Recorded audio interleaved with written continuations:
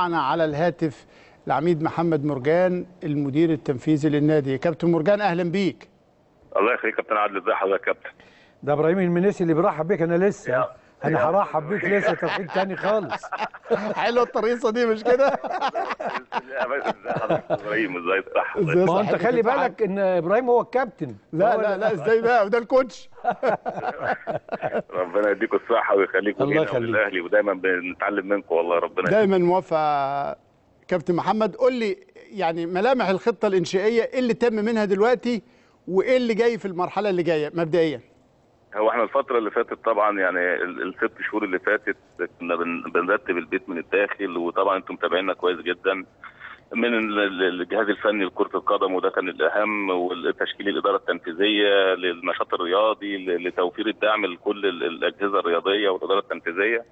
بعد الاستكمال الملف ده بالكامل ابتدينا نخش بقى بنهتم ونتابع الكابتن خطيب عن كسب وأعضاء مجلس الإدارة بالكامل ال- المشروع أو أو برنامج الانتخابي اللي هو برنامج عائلة النادي الأهلي بخطواته وطرق تنفيذه إزاي الحمد لله رب العالمين إحنا يعني بنتحرك بخطى ثابتة الحمد لله. إحنا في 60% من ال- ال- البرنامج الانتخابي لعائله النادي الأهلي.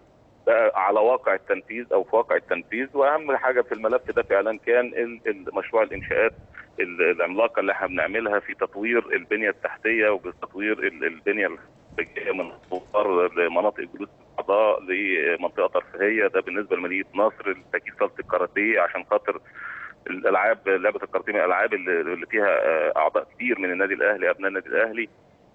آه، على التوازي برضو اعمالنا الدورية ال- بالنسبة للحاجات اللي بتمس العضو إحنا شغالين فيها برضو على قدم وساق الحمد لله رب العالمين. مهمه قوي دي يا سيادة العميد يعني كابتن ان إن الصيانة تمشي في توقيتات عشان العضو.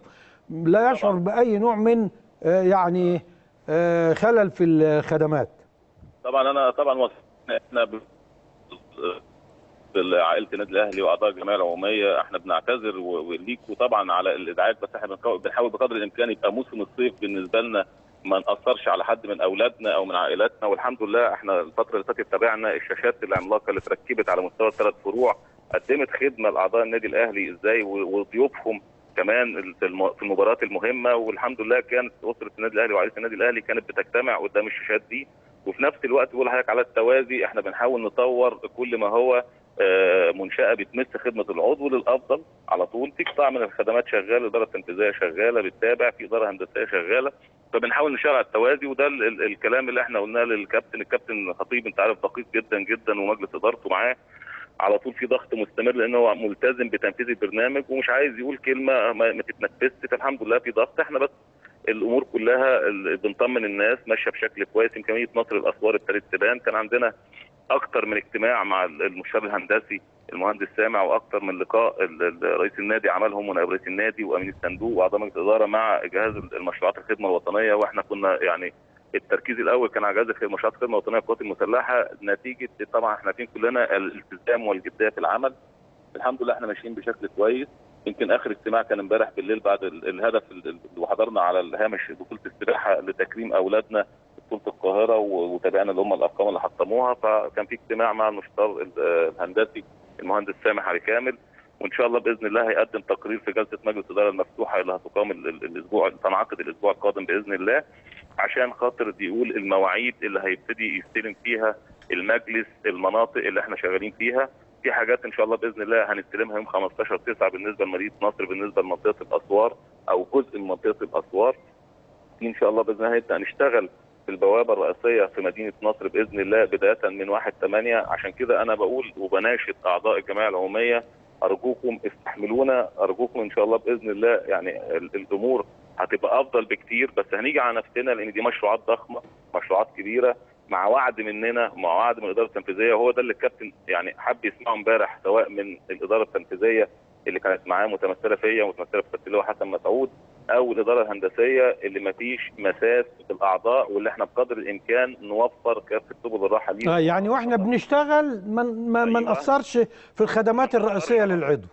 تمام يعني حتى عشان خاطر نبدأ في ال- ال- البوابة الرئيسية في مدينة نصر دي ده كان فيها نقاش في اخذنا فيه ساعة ونص الإدارة التنفيذية معترض على حاجة الإدارة الهندسية لغاية ما كابتن الخطيب وفق يعني وفق بين الطرفين وفي الآخر خالص زي ما الكابتن دايما بيقول عائلة النادي الأهلي أو إحنا ما فيش حاجة كابتن عادل وأنت أكتر واحد وأنتوا اللي علمتونا كده بتتعمل من يوم وليلة لا بيبقى فيها نقاشات وفيها يعني اجتماعات وفيها دراسة عشان خاطر أما ناخد قرار يبقى كلنا مشتركين في القرار وكلنا بننفذ وبنقوم على خدمة هذا القرار.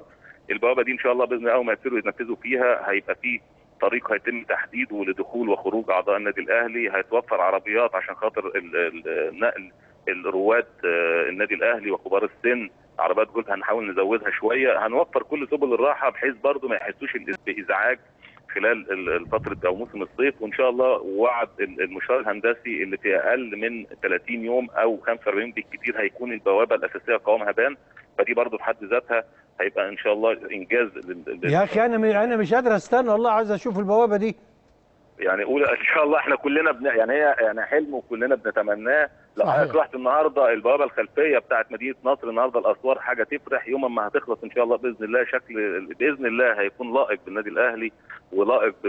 ب... بعائلة النادي الأهلي وأعضاء الجمعيه العموميه.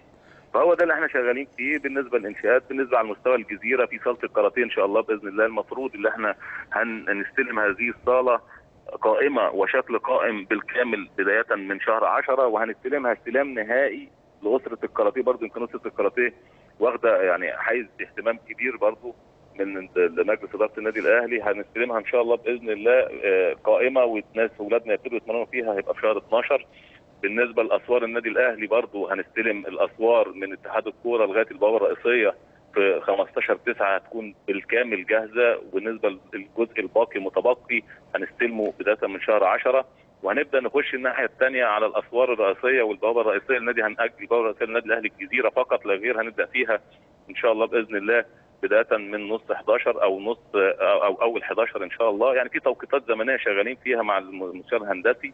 والحمد لله مع برضه يعني بنؤكد إحنا ملتزمين على التوازي بالمنشآت راحة الأعضاء. آه. والحيوية اللي هي بتمس العضو يوميا. أنت النهارده هتلاقي لا في النهارده مجموعة مطاعم بنشغلها لخدمة العضو على مستوى الثلاث فروع. بنحاول نتحرك فيها بشكل كويس. بن- بنوصل النهارده بنغير الشكل العام الخدمي اللي بيقدمه ال- ال- بيقدمه الاداره التنفيذيه لاعضاء النادي الأهلي. وإحنا دايما بنهيب بأعضاء النادي الأهلي اللي هم برضه بيتعاونوا مع الاداره التنفيذية. ولو في سلبيات إحنا موجودين مكتبنا مفتوح 24 ساعة. بنتابع السوشيال ميديا كويس. والله يا بنرد. يا سيادة العميد أنا مبسوط كمان لأن في تطور في اللغة. يعني سمعت عن كتب وبنهيب وشغل عالي قوي. ربنا ما أنا تلميذك يا كابتن. مركز معاك أهو. لا واسترسال بسم الله ما شاء الله. آه، يعني يدل على الصدق. ما هو اللي بيسترسل ده صادق. آه. بقى- ما هو بص أنتوا علمتونا في النادي الأهلي إن إحنا ما نعرفش نكذب وعلمتونا لا ربنا يقويك وانت. وجهازك التنفيذي أداة ودود يعني. يا رب يخليك لينا وربنا يكرم. يعني دي على مستوى الإنشاءات إن شاء الله بإذن طيب. الله يعني تبقى حاجة كويسة. ده للأعضاء. للجمهور بقى يا كابتن مرجان الجمهور المباراة الجاية مع تاون شيب الناس كلها بتسأل آه، إيه الحضور؟ إزاي يقدر ياخد تذكرة؟ العدد المسموح به الإجراءات كلها تقول لهم إيه؟ إحنا الجمهور طبعا انت عارف وزي ما الكابتن يمكن قال كلمة من من من دقائق قليلة كلمة موجهة لجماهير النادي الأهلي اللي إحنا من أول يوم واخدين على عاتقنا اللي إحنا عودة الجماهير للملاعب. طبعا لازم نبقى حاطين في حسابنا كويس قوي آه، يعني ده وبنشوف بطولات أفريقيا وبن- وبنسافر بره وبنشوف. ما فيش أمن وما فيش حد هيرجع الملاعب أو أي يخش أي منشاه يافطه كبيرة شعارها السلامه اولا والأمن اولا. إزاي إحنا بنحترم الامن بتاعنا إزاي الامن بتاعنا بيتعاون معانا عشان خاطر جماهيرنا ترجع. طبعا إحنا مهما نقول ومهما نعيد طول ما الناس هتفضل ما عندهاش قناعة إزاي تفصل بين السياسة والرياضة إزاي تفصل بين ال- ال- التشجيع فرقتي وبين التهكم على الآخرين هو ده اللي إحنا النادي الأهلي متحمله وهيبقى الرائد فيه اللي إحنا بننبذ التعصب. إحنا عايزين نشجع فرقتنا فقط لا غير مالناش دعوة بحد ده النادي الأهلي دي المبادئ اللي اتربينا عليها. والله أنا أنا شايف إن بإذن الله زي الأهلي ما بيعلم جمهور الأهلي هيكون هو رأس الحربة في عودة الجماهير بإذن الله بإلتزامه. والنموذج المحترم اللي هيقدمه بإذن الله. وده الرهان يا كابتن عدلي الحقيقي اللي إحنا متحملينه على عاتقنا وده الرهان اللي كابتن الخطيب بيحمله على عاتقه اللي بيأكد إن جمهور النادي الأهلي جمهور واعي. لو في فترة من الفترات كان فيها أي مهاترات أو كان فيها أي مشكلات إحنا برضو بنقول جمهور النادي الأهلي واعي. بيتابع الزمن وبيتطور مع الزمن. إحنا خلي بال حضرتك يا كابتن عدلي الجماهير اللي إحنا بنتكلم عليها واللي إحنا بنعشقها وبنحبها على مستوى العالم ليها تطور زمني. إحنا إحنا بس بنتخض. لا الجمهور كل الجماهير على مستوى العالم كان في احدث شغب إزاي بتتعالج. كانت ال- ال- الدولة وكانت الأندية بتتحمل مسؤولياتها الاتحادات بتتحمل مسؤولياتها وده أنا قلته امبارح يمكن كان في ورشة عمل عشان خاطر آه، عودة الجماهير. كان فيها اللي هو ثروت فيها المدير التنفيذي لاتحاد كرة القدم وكان فيها الحاج محمود الشامي كان موجود ويعني اتبسطنا اللي هم برضو عايزين يعملوا كارت شافوه اسمه ال fan ال- ال- ال- ال fan ال fan ID اللي آه. هو بيطبق في روسيا اللي النادي الأهلي already كان واخد خطوات وشغال فيها أنت النهارده بتقول ماتش بتسوانا وماتش آه، منانا اللي فات إحنا والماتشات بتاعت النادي الأهلي أنت بتطرح النهارده تذاكرك لجمهورك عن طريق اونلاين وهو ده اللي إحنا قلناه للجماهير أنت النهارده طالما أنت بتدخل بياناتك بشكل آمن والنهارده خلاص انت مسموح لك بيتكشف عليك عن طريق مؤسسات جهات معينة بتديك ال clear الأمني. خلاص أنا بالنسبة لي بقى مسموح لي أديك التذكرة. في تعليمات بتتحط تعليمات حضرتك بتلتزم بيها.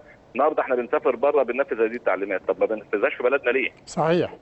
الجمهور دوره الاساسي الوقوف في ظهر فرقته، الجمهور دوره الأساسي. تشجيع وهتاف فرقته، الجمهور دوره الأساسي اللي هو إزاي هتدافع عني زي ما بنقول الجمهور حماة هو حماة بقوتك وحماة اللي انت في ظهره مش حماة اللي انت بتضربه حماة. أصل حماة يبقى يعني أنا آسف آه، اللغة شفت أنت بقى قلت اللغة اللي هو وقعت في الحتة دي. حماة. حماة. لا حماة حماة. حماة. آه. لا حماة ده ده فعل أقول بقى. حماه ده فعل ماضي. أيوه فهي لا حماة على طول. حماية. فهي القصة يا كابتن عادل النهارده. أنا مش عايز الجمهور دايما عايز يبقى مصدر قوة وليست مصدر ضعف ليا. مش عايز حد يمسك حاجة اللي إحنا نقول النهارده الجمهور إحنا خايفين من الجمهور.